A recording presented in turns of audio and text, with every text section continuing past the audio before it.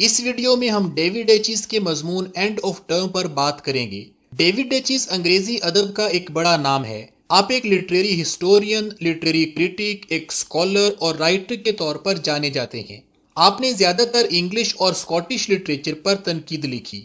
आप Association for Scottish Literary Studies के president भी रहे। इसके अलावा आपने Institute for Advance Studies in the Humanities में बतौर डायरेक्टर खिदमात भी सरंजाम दी। आपने जिन तलीमी इदारों में तदरीस के फ़राज़ सर अंजाम दिए, उनमें से चंद कॉलेज और यूनिवर्सिटीज़ के नाम हम अपनी स्क्रीन पर देख रहे हैं। डेविड एचिस पचास से जायद किताबों के मुसन्फ हैं, आपकी चंद मशहूर किताबों के नाम इस फहरिस्त में देखे जा सकते हैं। आपने दो ऑटोबायोग्राफीज भी लिखी, जिनमें से एक का नाम Two Worlds and Edinburgh Jewish Childhood है, जो 1956 में शाया हुई। आज हम जिस मजमून पर बात करेंगे, यानी एंड ऑफ़ टर्म वो इसी किताब से लिया गया है। आपकी दूसरी ऑटोबायोग्राफी का नाम Promise Land a Portrait of My Father है, जो उन्नीस सौ सतानवे में शाया हुई। अब आते हैं आज के मजमून एंड ऑफ़ टर्म पर। इस मजमून में डेविड एचिज अपने बचपन और स्कूल के दिनों की कुछ यादें हमारे साथ शेयर करते हैं। आप लिखते हैं कि जब हम स्कूल में पढ़ते थे तो हमें छुट्टियों का बड़ा शौक था।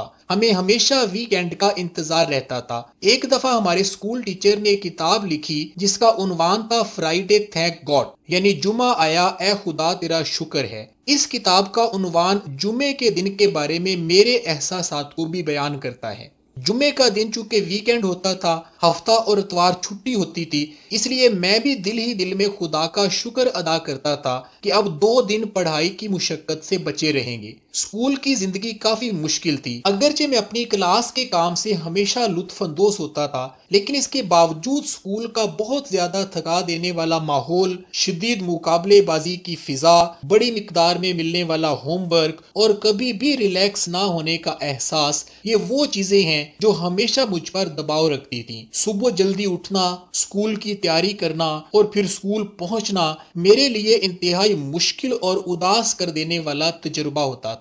खास तौर पर सोमवार के दिन तो ये सब कुछ बहुत ही नागवार लगता था। डेविड एचिस लिखते हैं कि हमारे घर में एक नौकरानी होती थी, जो हर रोज हमें सुबह जगाया करती थी। मैं, मेरा भाई लियोनल और मेरी बहन सिल्विया, हम ऊपर वाली मंजिल पर सोया करते थे। जब ये नौकरानी अपने मनहूस कदम सीढ़ियों पर मारते हुए आती और इंतहाई गंभीर लहजे में हमें जगाने के लिए आवाज़ देती तो हमें ऐसे लगता था जैसे जहन्नुम से बुलावा आ गया हो। गर्ज ये कि स्कूल की पूरी ज़िंदगी मैं अपने ऊपर एक बेरहम सा बोझ महसूस करता रहा और ऐसा हर बच्चे के साथ होता है। डेविड डेचिस बताते हैं कि स्कूल की ज़िंदगी के ये तमाम नागवार एहसास उस वक्त खत्म हुए जब मैंने यूनिवर्सिटी में दाखिला लिया, जहाँ निस्बतन थोड़ी क्लासे लेना पड़ती थी और तलबा को आने जाने की भी आज़ादी थी। मेरे लिए ये एक बिल्कुल नई दुनिया थी।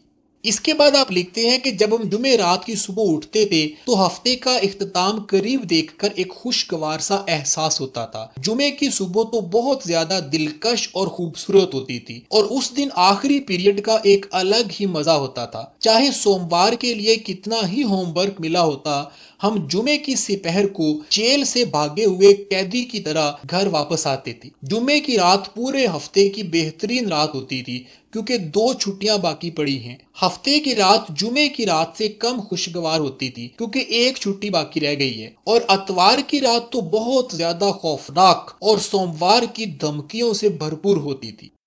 इसके बाद डेविड एचिस उन छुट्टियों के बारे में बताते हैं जो स्कूल के दिनों में इन्हें मिला करती थी। आप लिखते हैं कि कभी कभार हमें कुछ गैर मुतवक्को छुट्टी मिल जाती थी। मसलन फुटबॉल मैच देखने के लिए आधे दिन की छुट्टी या किसी मुतवक्को बहरान या तकरीब की वजह से स्कूल मामूल से दो घंटे पहले बंद कर दिया जाता था। लेकिन ऐसा बहुत कम होता था। इन छुट्टियों को डेचिस ने अनएक्सपेक्टेड रिस्पाइट्स का नाम दिया है। इसके बाद आप उस छुट्टी के बारे में बताते हैं, जो साल में सिर्फ़ एक मरतबा मिड टर्म इम्तिहान के बाद होती थी। ये छुट्टी आमतौर पर सोमवार को की जाती थी, जिसकी वजह से वीकेंड तीन छुट्टियों पर मुश्तमिल हो जाता था। लेकिन ये भी बाकी वीकेंड्स की तरह जल्द ही गुजर जाता था। मौसम सरमा में जब ज़्यादा बर्फबारी हो जाती तो हमें स्केटिंग खेलने के लिए एक पूरी छुट्टी दे दी जाती थी। इन छुट्टियों को डेचिस ने ब्लेस्ड ब्रेक्स का नाम दिया है। इसके बाद आप उन छुट्टियों के बारे में बताते हैं जो क्रिसमस और ईस्टर के मौका पर होती थी। ये छुट्टियाँ पहले तीन हफ्तों की होती थी, लेकिन बाद में कम होकर दो हफ्तों की हो गई और फिर बदकिस्मती से मजीद कम होकर दस दिनों की रह गई। डेचिस लिखते हैं कि असल छुट्टियाँ तो गर्मियों की छुट्टियाँ होती थी, यानी दो महीनों पर मुश्तमिल। और यही वो दो महीने थे जिनका हमें पूरा साल इंतज़ार रहता था। उन दिनों में दो महीने बहुत ही लंबा अरसा दिखाई देता था। पहले पहल तो इन छुट्टियों के आने का यकीन ही नहीं होता था। ये सब कुछ इतना अच्छा था कि हकीकत नहीं लगता था। इसके बाद डेचिस लिखते हैं कि ज़िंदगी में तमाम ख्वाहिशें पूरी नहीं होती। जैसे मेरी बचपन में तीन पहियों वाली साइकिल की ख्वाहिश, जिसकी मेरे वालदेन इस्तात नहीं रखते थे। जब मैं बड़ा हुआ तो दो पहियों वाली साइकिल की ख्वाहिश करने लगा, लेकिन ये भी पूरी ना हुई। मैंने अपनी पहली साइकिल 21 साल की उम्र में इनाम की उस रकम से खरीदी, जो मैंने ईडनबर्ग यूनिवर्सिटी में जीता था। फिर कभी कभार ऐसे होता कि मैं खाली जेबों के साथ मिठाई की दुकान के सामने चला जाता और ये ख्वाहिश करता कि काश मेरे पास एक दो सिक्के होते जिनसे मैं मिठाई खरीद कर खा सकता या आइसक्रीम की रेडी के गिर जमा लोगों के पास चला जाता, उस रेडी के चक्कर लगाता कि शायद आइसक्रीम वाले को मुझे देखकर तरस आ जाए और वो मुझे एक आइसक्रीम मुफ़्त में दे दे। लेकिन ऐसा कभी नहीं होता था। हम तीनों बहन भाइयों को बहुत कम जेब खर्च मिलता था और वो भी खर्च करने की इजाज़त नहीं थी। लिहाजा मेरी बचपन की ये तमाम ख्वाहिशें हमेशा अधूरी रही। लेकिन एक ख्वाहिश ऐसी ज़रूर थी जो हर साल पूरी हो जाती थी, और वो थी गर्मियों की छुट्टियों की ख्वाहिश।